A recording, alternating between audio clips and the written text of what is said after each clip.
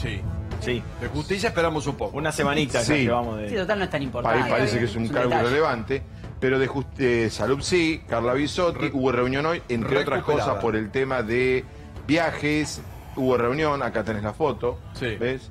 Santiago Cafiero, ahí está Ahí está. Bisotti, el presidente, Cecilia Todesca, Lames, uno va diciendo los nombres porque Lames, hablan tan Frederick. poco, los ministros, Mm. viste que hay que ir recordándolos. Sabina Frederick, Mario Meoni, Ah, estaban todos. No, estaban todos los que corresponde que estén. Guado de Pedro, Pedro. Cecilia, el- porque, porque es el tema que van a hacer con el Rossi dispo Mr. President. Claro, de Noriega. Algunos están pensando en volver a cerrar algunas cositas. Y sí, Bueno, te quiero avisar. no consiguen, hay que cerrar. Te no, quiero no se avisar les porque yo sé que vos Además, sos una... Un gran amigo de la cuarentena. No, no es que te quiero pillar, pero te quiero decir que esto Estoy viene... presto. Está- estás presto, estás atento, claro, muy bien. Cuarentena. Esto puede venir de- Bueno, y ojo porque el episodio formó Formosa, donde la gente dijo Horrible. que no a la fase 1, Tomen nota. Ojo, ¿eh? Y eso también lo han observado. Bueno, no sé si tenés a Bisotti que habló del tema viajes, dale. confirmar la restricción de vuelos y los porcentajes y los lugares. Se hablaba de Brasil, Nueva York y Europa. Lo que trabajamos muy, no solamente en esta reunión, sino también eh, con cada una de las áreas técnicas, es, es esto, es transmitirle a la población esta información para la acción, que es justamente la situación regional y el concepto de que no es solamente donde hay casos, sino también el, el concepto de estas nuevas variantes. Avisar y alertar y desalentar a la población para que viaje a lugares donde hay circulación persistente de esas cepas por el riesgo individual y sanitario y trabajar muy fuerte sobre todo en el control de la vuelta, ¿sí? tratar de desalentarlo y además eh, no, no se va a prohibir la salida, digamos, eso... Bueno, ahí está claro, sí, muy bien, que no se prohíbe la salida, sino que, como lo explicábamos anoche, restricción de vuelos. También eh, hubo un audio de eh, Kreplak. Recuerden que Goyan y Kreplak en general se adelantan a lo que después termina pasu- decidiéndose. Es un audio que vos le prestaste mucha atención, yo vi los títulos. Sí, porque- Viceministro de Salud de la provincia de Buenos Aires. Están con los pies más en la tierra, ¿no? Bueno, escuchá lo, que- lo que dice Kreplak.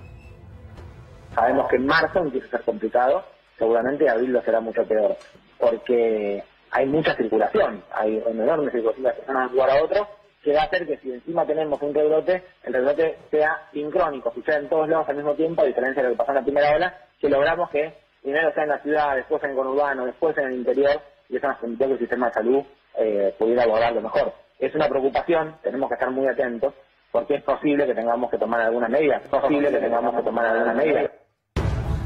Bueno, hay que decir que Ya es, dice es eso- exacto el graph, mejor no puede ser. Sí. Cuarentena dos puntos, la advertencia de Kreplak. Bueno, pero ¿sabes qué pasa, Fabián? Nosotros lo dijimos ayer, por ejemplo, cuando anunciaban las restricciones en algunos vuelos, yo decía, bueno, puede ser un, un globo de ensayo, una manera de ver cómo la opinión pública podría tomar eventuales nuevas restricciones. Ahora Kreplak lo evidencia. Como vos decías, el tema Formosa creo que les hizo un gran signo de interrogación hasta dónde se podría volver a alguna fase más restrictiva. Pero también acordate que hay otro problema adicional a la eventual o a eventuales nuevos confinamientos, que es la economía.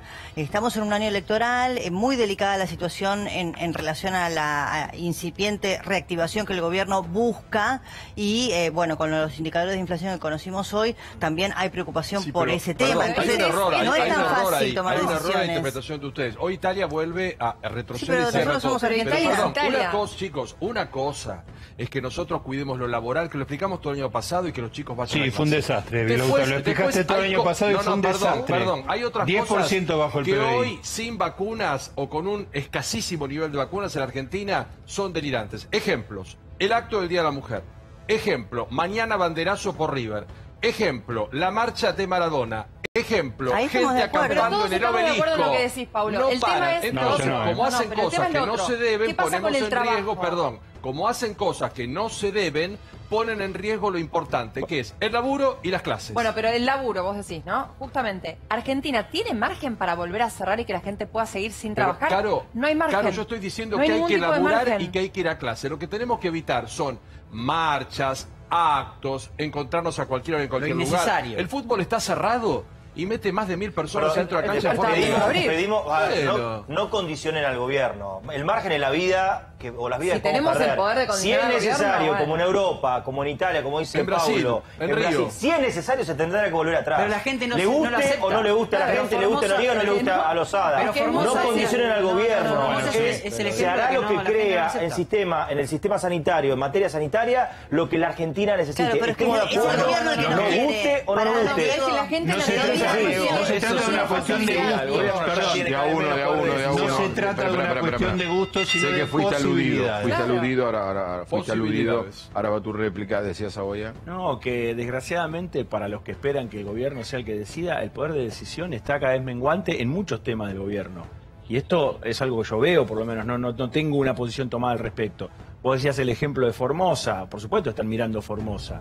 En Formosa, donde no se levantó una manifestación nunca de nada, no- hace una O semana sea, que están acá también van a venir los libertarios y la no, gente no, Bullrich a romper todo. Paula, acá hay varios- no es una cuestión de mal ejemplo, digo, vos cerrás, Formosa depende que acá tampoco se habló, fíjate que ayer era prohibir vuelos o levantar Sí. vuelos, ahora dijeron no vamos a levantar Pero, nada, vamos a mirar. Vos sos una persona sensata. Vamos a lo siguiente. Gracias. ¿Qué es peor?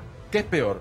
Que explote sanitario. Nosotros tenemos una Basta bomba. de la explosión pa- sanitaria, pa- Vilouta. Pero pará. Un año Pero entero hablando hacer- de la explosión deja sanitaria, de pero jugar. perdón, perdón. Vos, vos te manejás de una No forma. aprendiste nada en No, 12 no, no, no, Vos te haces meses. el pastor, vos te haces el pastor y ¿Qué yo no me hago el pastor de qué? No me tenemos un a mí. país al lado. No se puede pasar 12 meses diciendo lo Tenemos mismo. un país al lado que es una bomba. Está Basta, descontrolado basta. Brasil. Bueno, pero ¿Qué por eso perdón, nadie quizás. Pablito, hay que ver las medidas que tengan que ver con aislar Pero, puntualmente. chicos, prioridades. Pero, Pero, ¿qué imaginas vos? no, ¿Que vamos a ir de no, vuelta a la no, fase no, uno? vos conocés No, perfectamente eso a es las marchas. Obviamente no, que Paula, no vamos a abrir. No, el boludeo. Pero, Paulo, no ese vos es el punto. perfectamente la situación económica de Argentina. Sí. ¿No? Y estoy A diciendo ver, que hay ¿qué que hacemos? Está bien, pero ¿qué hacemos? No, de- sí, pero Diego está diciendo que no, que, a lo- que si hay que cerrar, No hay que cerrar. eso.